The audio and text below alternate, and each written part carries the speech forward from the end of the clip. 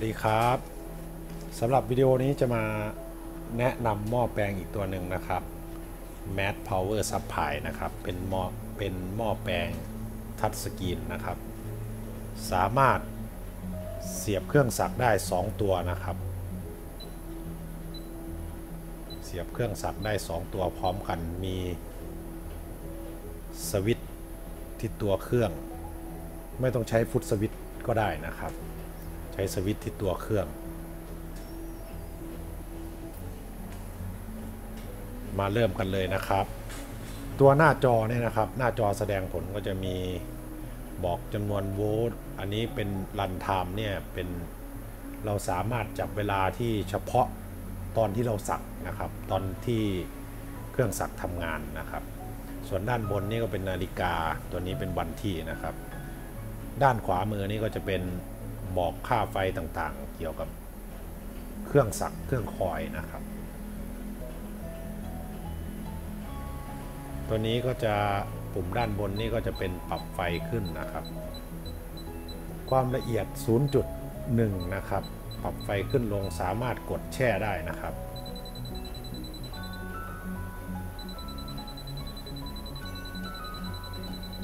ทัชสกรีนเลื่อนนะครับเบาๆ กดง่ายนะครับ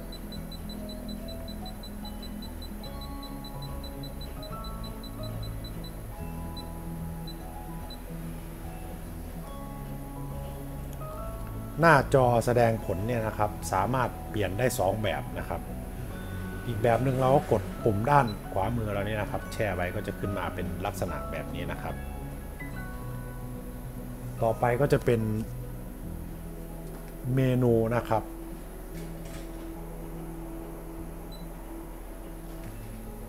เมนู Setting ก็จะขึ้นมาเป็นลักษณะแบบนี้นะครับ เดี๋ยวผมเอามาดูใกล้ๆนี่นะครับเมนู Setting ก็จะมีด้านบนสุดก็จะเป็น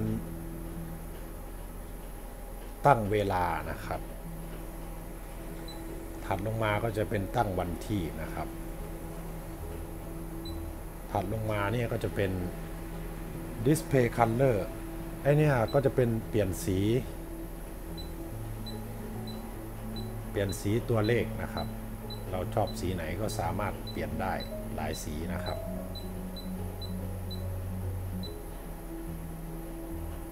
ผมตั้งไว้สีขาวแล้วกันนะครับพรีเซตเขานี่ก็คือ สามารถตั้งได้ฝั่งซ้าย เครื่องฝั่งซ้ายและฝั่งขวานะครับ ฝั่งละ 3 ตัวสูงสุดนะครับ แล้วก็หมายเลข5นะครับก็จะเป็นจัมสตาร์ทนะครับ เราสามารถตั้งฝั่งขวามือ หรือโบสก็คือทั้งสองฝั่งนะครับ ทั้งขวาทั้งซ้าย หรือใช้งานปลดโหมดปกตินะครับ ไม่จำสตาร์ท เมนูถัดมาก็จะเป็นเสียงปุ่มกดนะครับ ถ้าใครลำคาญก็ปิดเสียงไม่ได้นะครับ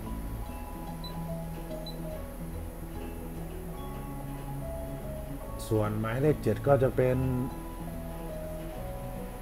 เราคิดราคาตามเวลานะครับ สามารถตั้งตั้งแบบเก็บเงินตามเวลาที่เราสั่งเมนูที่ 8 ก็จะเป็น เราสามารถตั้งเป็นรันไทม์หรือเซสชั่นไทม์ก็ได้นะครับ ตั้ง ตั้งตามที่ session time นี่ก็คือเราตั้งรวมเวลาที่เราหยุดพักด้วยแล้วก็เวลาที่เราสักด้วยนะครับ อันนี้มันจะคิดเงินเป็นเวลานะครับ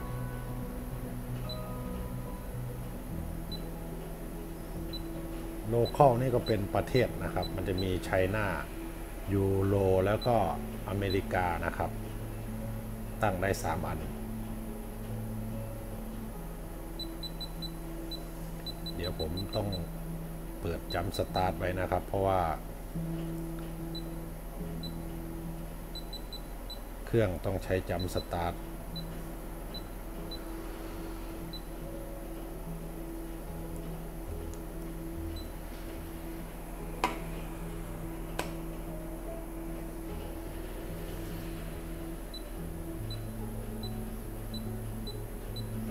เวลาเราบันทึกค่าที่เราค่าไฟที่เราใช้บ่อยๆนะครับ เราก็กด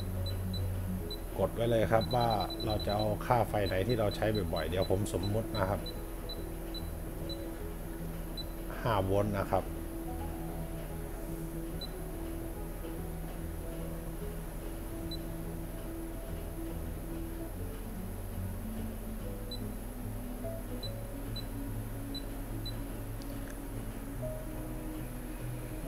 เรากดไว้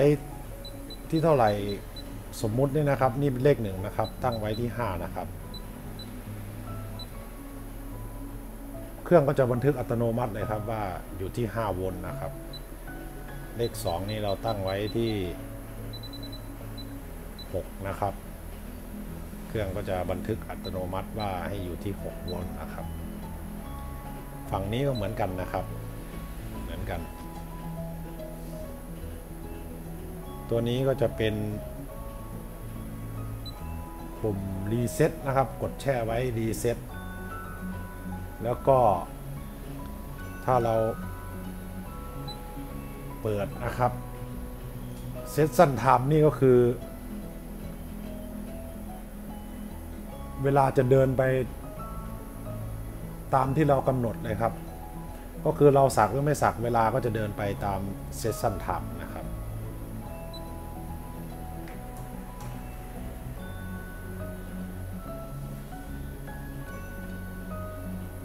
เดี๋ยวผมมา ลองเปิดเครื่องให้ดูนะครับ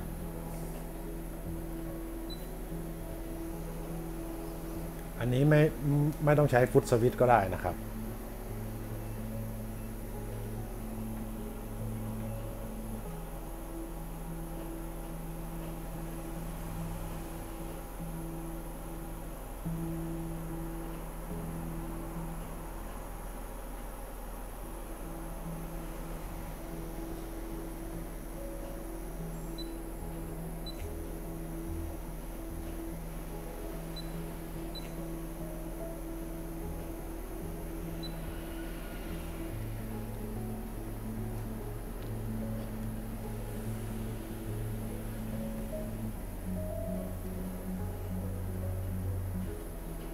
หม้อแปลงตัวนี้นะครับสามารถใช้ได้ทั้งฟุตสวิตแบบปกติ แล้วก็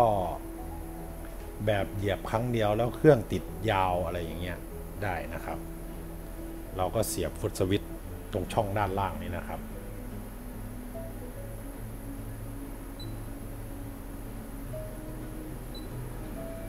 นี่นะครับเราก็กด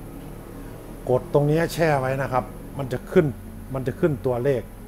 มันจะขึ้นตัวหนังสือตรงนี้นะครับ ก็คือจะเป็นโหมดที่เราเหยียบฟุตสวิตแค่ครั้งเดียว แล้วเครื่องจะติดยาวนะครับ เหยียบอีกครั้งหนึ่งเครื่องก็หยุดนะครับ ถ้าเราอยากใช้โหมดปกตินะครับ เราก็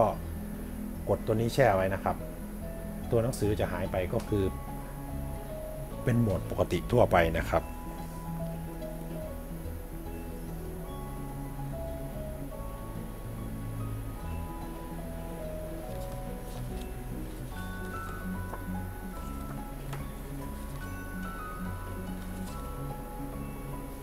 สำหรับ